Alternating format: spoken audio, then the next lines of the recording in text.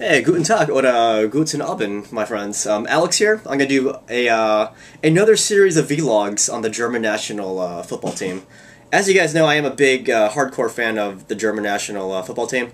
Um, but uh, yeah, this series I'm doing now for vlogs is going to focus on Germany during the Euro 2012 tournament taking place in the Ukraine and Poland.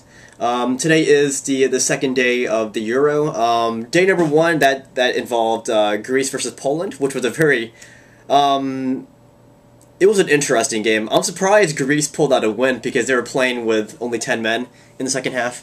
Um, but it made it made it very exciting though. And then the game after that was Russia versus the Czech Republic, and I I can't believe the Czechs lost four to one against the Russians. I mean, I know the Russians were good. Of course, they're good if they made it to the to the Euro, but I really thought the Czechs could have easily beaten the Russians until until I saw the game. Of course, um, the Russians are really good. I was really surprised by that.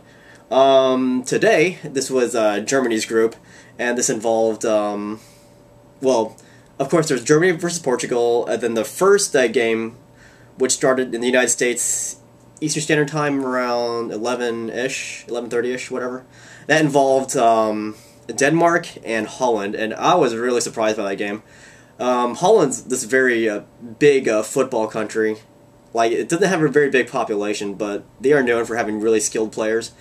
But, um, oh yeah, by the way, if, if you don't want to get, you know, get spoilers for the for the Euro, don't don't watch this video, because I'm going to give you all the scores I can. But yeah, Denmark won. Um, it's kind of crazy because Holland dominated possession of the ball, but uh, Denmark scored in the uh, 23rd or 26th minute. I forgot. It was um, what's his face? Uh, I'm gonna look at my notes. Sorry. It was uh, Krohn-Dehli, that was his name. Um, he shot it underneath the legs, between the legs of the, the Dutch goalkeeper. That was a crazy goal, and um, I couldn't believe the the Danes actually held on to that to that 1-0 lead the entire game because the Holland they were just dominating possession, and they, they created a lot of chances, but they but they, they just couldn't convert. And honestly, I thought Van Persie did a really horrible job in that game. Like he was given at least two like free goals that he should have scored, but he would mishandle the ball and well, I, I think they should have brought. I think they should have substituted Van Persie in the second half, um, but they stuck with him, and because of that, well, many factors led to uh, the Holland losing that game.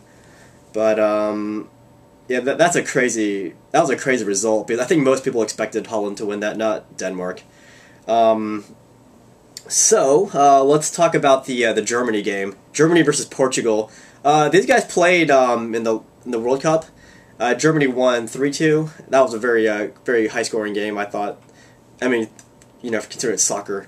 But let's talk about the let's see what do we got here. I got a bunch of notes, and I yeah I, I wrote on the back of this uh, Quaker oatmeal cereal box thing. All right, so the referee was uh, Lannoy. He was from France. Um, this is the youngest German team since the 1930s. Um, they might be young, but all those players are very skilled. Like lots of caps per player, um, especially like Philipp Lahm, um, uh, Schweinsteiger. He has a lot of caps. Podolski a lot of caps. Klose. Um, but let's see here. Uh, there were 10,000 Germans in attendance in this stadium. This was this took place in the Ukraine, and um, it was also Klose's birthday. Kind of kind of crazy because like Klose didn't even start. Um, but let's see, Germans they had a very good uh, like possession of the ball. Um, but the first half they didn't really um, threaten the the Portugal uh, goal that much like they had a lot of chances. Like let's see, the first minute and twenty seconds, Gomez had a header. Um, almost nine minutes into the game, Podolski almost he did something. I, I, wrote down his name for some reason. Um, yeah, around the 18th minute mark, uh, it was uh, like shown that Germany had 62 percent 62 percent possession of the ball. Um, but as in the first game with Holland and Denmark, I guess possession doesn't mean anything if you can't convert. So in the first half, Germany could not score. Um, like they would they would control the ball for a long time, but once they got to the uh, Portugal side of the of the defensive line, like they would just give the ball right back to Portugal. Like they had no ideas. Like they were going too slow with the ball. Like the build up, all the passing, it was just too slow. Um, second half, they had a lot more chances. Um, I mean, I, I guess there were some first, there were some pretty good uh, chances in the first half. Let's see. Uh, Podolski had a nice shot in the 30th minute, but he kind of shanked it over the uh, over the goal. And um, around the 39th minute, there was a lot of uh, there were like three consecutive crosses from the Germans, and they missed every single time. Um, let's see anything else to talk about. Uh, Portugal got some chances too. They they hit the crossbar in the first half from from Pepe, and like it was argued that it, it crossed the line, but the ball has to completely cross the line in order for it to count as a goal. But I was really scared when I saw the ball kind of roll underneath the goalpost. But on the instant replay, you can see that the ball doesn't completely go over the line, which is the prerequisite for, for a score to be counted. Um, let's see, second half. Let's see here. Anything anything good happening? Well, um, of course, that Gomez scores finally. What what minute was this? In the 71st minute, Gomez finally scores a header. But I was kind of uh, perplexed by this because, like Mueller and well, mainly Mueller, he kept providing crosses into the uh, into the center of the box, but um, without Klose, who was still on the bench, like all those crosses were going over, like they weren't being converted. I think Klose would have been the man to put into that kind of situation, but Klose did not come in until the uh, 79th minute where that would give him about 11 minutes to score. That's kind of hard.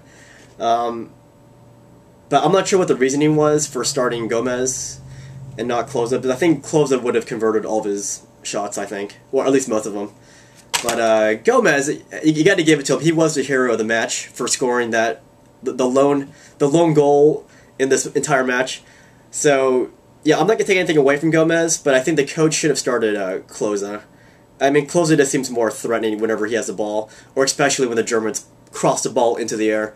Um, uh, what else? Oh, Boateng. Some people. I was I was reading the German. Um, I don't know what it was. Some German comments page. A lot of people were complaining about uh, about Boateng starting and not like Mertesacker. But uh, Mertesacker did a really good. Sorry, Boateng did a really good job of neutralizing uh, Ronaldo. Um, he made a few professional fouls, and for the most part, he, he, he stopped uh, Ronaldo. He shut him down, and he kept him pretty much silent for, for most of the game. Uh, Ronaldo still had a lot of chances. Um, Boateng did get a yellow card eventually, but this is against Portugal, guys. Portugal is a very uh, very skilled uh, football country, so a 1-0 win is the same as a 2-0 win against Portugal, I think, unless it comes down to to a point differential, which I hope it doesn't come down to for the first group. But the fact that Holland lost the first round and Germany won against Portugal, I think this makes Germany's chances for advancement very likely. So Germany just has to beat Denmark and even tie Holland. Or I, I think Germany is pretty secure in, in, getting through, considering that Holland lost. Like no one expected Holland to lose to Denmark. Um, crazy match. Uh, what else? Uh, Ronaldo is a very skilled player. But as I said, Boateng did keep him pretty much silent for most of the game. Um, if you guys watch ESPN, like my fellow Americans, uh, you would have seen uh, Michael Ballack as one of the uh, the co-hosts. Like um, he wasn't one of the commentators, but like in between like halves, you can see Ballack, um, you know, shooting the crap with uh, with what's his face, um, Lalas. Like they were just talking about the game, but uh, it's kind of heartbreaking to see Ballack you know, not playing in the game because he's still young and he's still a great player. He's like in, in modern times, I'd say Ballack's one of my favorite uh, German players. Um, but he was not playing, of course. He's uh, I guess retired from the national team. Um, so that's really about it. I just want to talk about the game. Um, what were your thoughts on the game so far? Not just Germany and Portugal, but like let's say Greece, Poland, uh, Czech Republic, Russia. Were you surprised by that game? And also Denmark, Holland. Were you surprised by that game? And uh, your thoughts on Germany, Portugal. Um, that's it. And um, for all my fellow fans of the German national team, I want to say, hey guys, uh, congratulations on the on the win. I'm, I'm, pretty excited about this because Portugal is very tough, and um, that's it. I am looking forward to to next next Wednesday, the 13th that is Germany versus Holland. That's gonna be a really good game. Very big rivalry. Um, who do you think will win this game? Um, just because Holland lo- lost the first game doesn't mean anything. Like they had a really good team. It, it just it was their finishing that kind of failed against Denmark, and also their backline was kind of weak. But uh, Germany Holland will be a very good match. I look forward to it. Um, I'll see you guys later. Put your thoughts in the comment section. I'll try to respond when I can. See you guys later.